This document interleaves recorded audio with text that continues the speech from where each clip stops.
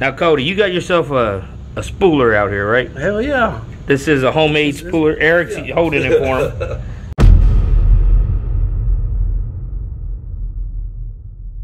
This is. Two tennis balls. So you got wait, wait, wait. This is an old rod. yeah. Yeah. That's actually a collector's item. All right, and these are two tennis balls. Two tennis balls. This is called two And- tennis and ball so tension. You apply pressure to the tennis balls, which applies pressure to the line, and you have to do that to braided line. Otherwise, you're going to have problems, and you're never going to be happy with braided line, So you- especially on off offshore rods. So you went through all the line. I mean, all the eyes. Mm-hmm. yeah, scoot back And and then- a little bit.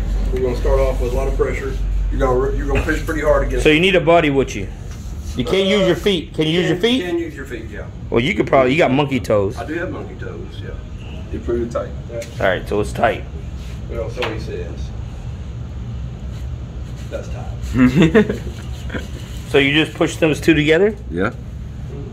That's pretty cool. And then you loosen it up, and when you get closer, otherwise you'll have too much line on.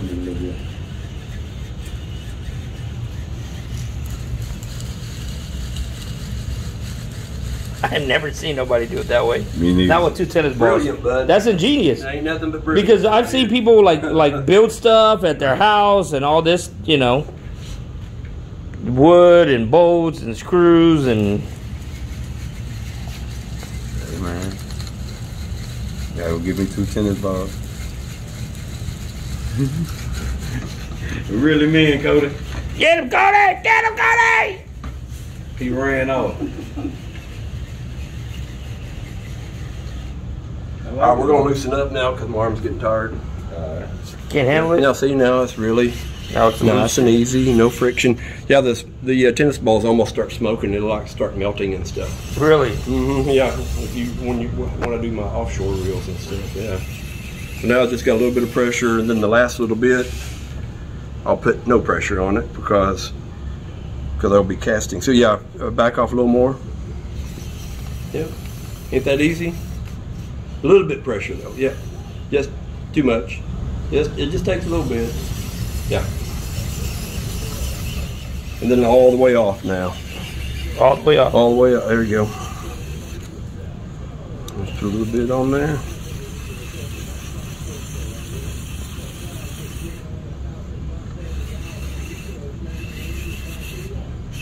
That's a nice run of reel, Eric. Yeah. Yeah, the line looks good on it too. Yeah. Except for it's got a little. I think a mouse might have ate this a little bit right here. A mouse. I got some. I got some pet rats at the house. in your at your house? Or you mean in your tr- back of your truck? Maybe in my garage. Maybe in the back of your truck. Mickey Mouse, Mickey Mouse Playhouse. Well, that's pretty cool, man. Yeah. Yeah, that that'll help. That'll help somebody. Your two burners. That'll really help somebody. Yeah.